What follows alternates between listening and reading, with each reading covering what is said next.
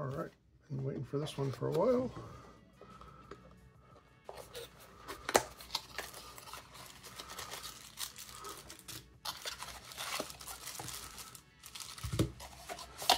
Got that, got the manual.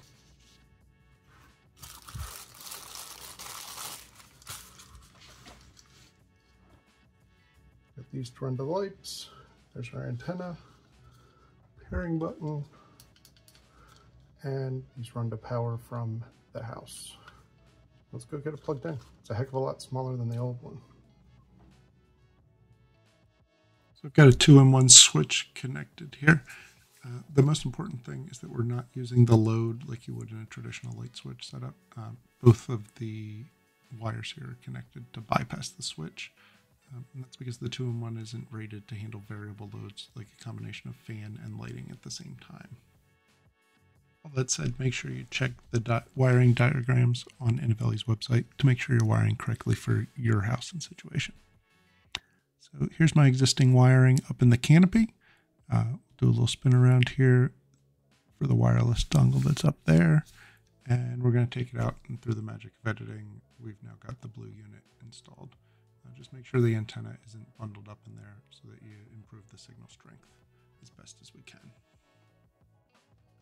First things first, we're going to get these paired up. Uh, I've sped things up here so that we don't have to wait that long. Real time, this took about 45 seconds. And these automatically showed up for pairing because I had flipped the power back on and they're new. Uh, this is going in the nursery, so we're just going to set the names and labels here. So if we hop over to the device for the ceiling, uh, you're going to see that there's a fan and two light switches here. The second light's actually a way to control the fan in case you're binding the fan speed to a switch that's designed for lighting. Uh, what I'm going to do here is go in and label this as a virtual switch or a virtual fan uh, so that it's not confusing as we're working on things. And since I don't need to access this from anywhere in the interface or from any special controls, um, we're going to turn off visibility as well.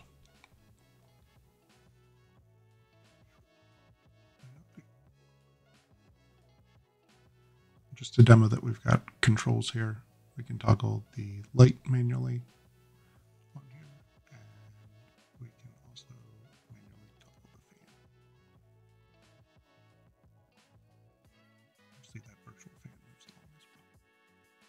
fan. Inside the fan. Uh, we can adjust levels. On the back end for Home Assistant, um, this is actually just changing the percentages. That's going to be important when we set up the control of the toggle switch uh, or the config button on the wall switch uh, in order to adjust the different uh, fan levels so that we can control it from the wall.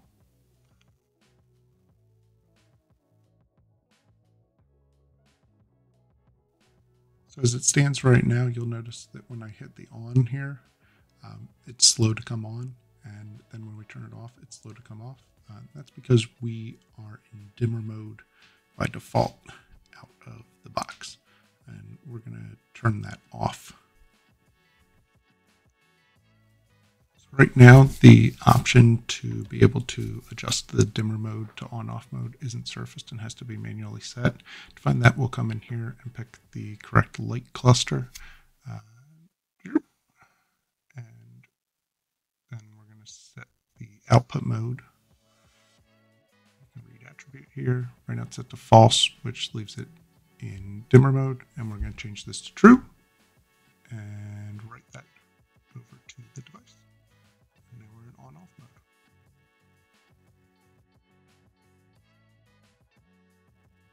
So now we're going to go in and set up the switch for binding control. First part of that process is that we need to create a group for binding. If we don't do this, the switch is going to try and control the fan at the light all at the same time. So we're going to hop in here and create a new group.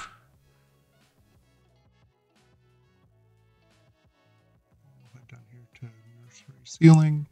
And we're going to pick the first group, which is what is controlling the light.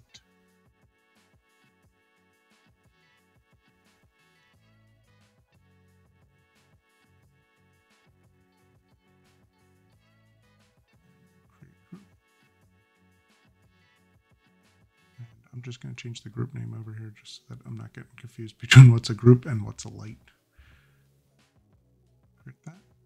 And now we'll hop back over to the wall switch.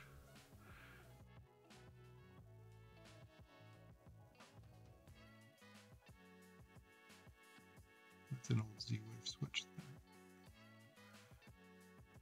Here, manage the Zigbee device, and go to Bindings tab, and we should be able to pick that new light group. And we want to do level control and on-off for binding. Um, if you chose to leave the light in a dimmer mode, then this would allow you to control the levels of the light directly from the switch once it's bound.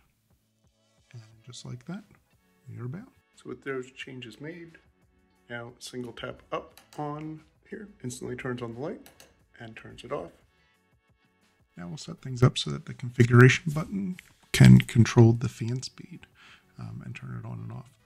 I've played around with a couple different ways to do this, but the most effective way seemed to be doing this. Uh, first, I need to come and create a template sensor that's reading the nursery fan speed. If I don't do that, um, the automation was not running correctly. It could just be me being inexperienced with Home Assistant code in there, but uh, that's the first step. And we're going to reference back to that as we set up the automation. We'll come in here and trigger off of my wall switch. And we want to look for that config press. And when that config gets pressed, we're going to do a conditional statement and check against the entity that we just created see if the what the current fan speed is. So in this case, if the speed is zero, then we want to set the fan.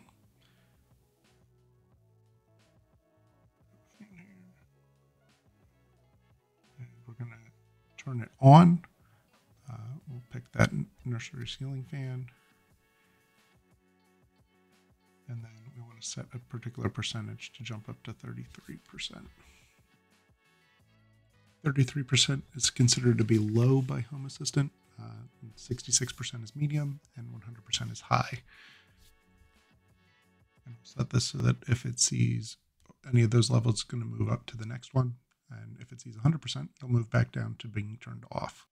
Inovelli is supposed to be coming out with a new firmware for the two-in-one switches that should make this automatically happen with bindings to the config button. But for now, this is my workaround. And here's the YAML in case you want to try and duplicate. So with that automation in place, uh, right now the fan's off. We give a single click to the config button.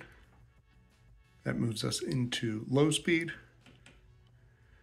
Give it another click into medium and another click into high.